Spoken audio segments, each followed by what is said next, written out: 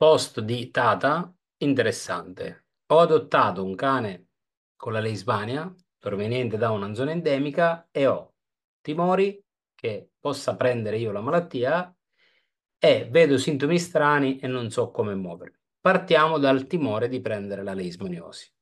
La leishmania non si trasmette da cane infetto a essere umano perché è necessario tutta una serie di meccanismi che è difficile da concretizzare, cioè il cane infetto deve essere punto da un pappatacio quando in fase viremica, cioè quando ha il parassita nel sangue. Il pappatacio deve prelevare questo parassita, lo deve albergare almeno tre settimane. Dopo il pappatacio dove altre tre settimane è sempre lo stesso, deve rimordere il cane, rialbergare i parassiti per altre tre settimane e fare la stessa cosa tre volte, quindi per un totale minimo di nove settimane. Quindi immagina il caso, lo stesso pappatacio, quindi deve fare prendersi una camera a casa tua, lo stesso, deve pungere il cane in fase viremica almeno tre volte nell'arco di nove settimane.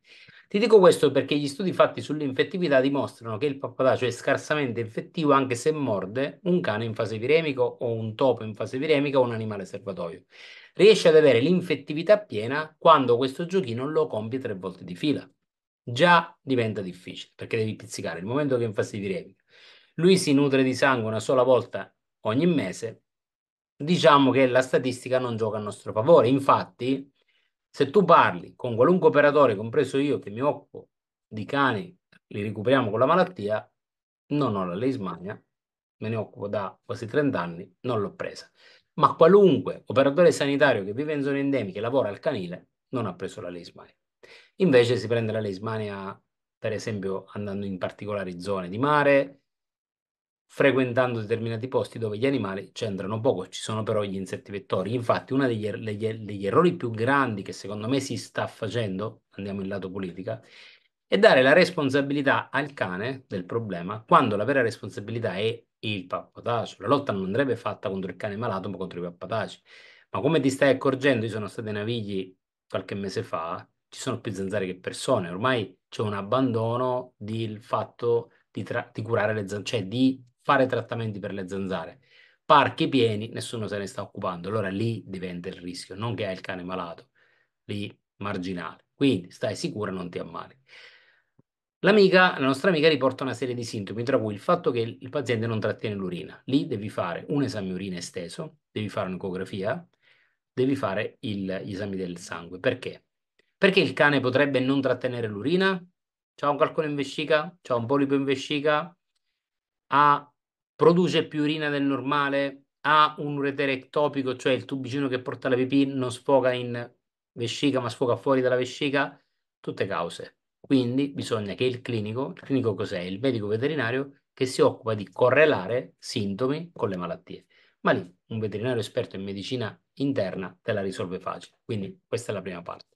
Seconda parte, mi parli che le feci di questo cane non sono perfette. Se viene da un canile vanno fatte più sverminazioni seriali nonostante gli esami feci ti risultino negativi. Perché? Perché negli adulti fai l'esame feci, 90% ti risulta negativo, nonostante abbia i vermi. E addirittura dai canini, i cani vengono spesso con la coccidiosi e con la giardia. E sono due parassiti che la coccidiosi rimanga tra di noi, non sempre viene trovata o non sempre si ha l'occhio per riuscire a determinarla, specialmente se c'è la fretta ambulatoriale di fare un esame feci estemporaneo. La giardia ha il brutto vizio di risultare negativa nel 50% dei casi dei cani positivi. Quindi, quando escono da canile, addirittura noi nel nostro rifugio, quando entrano in rifugio, facciamo Panacur e Procox a prescindere.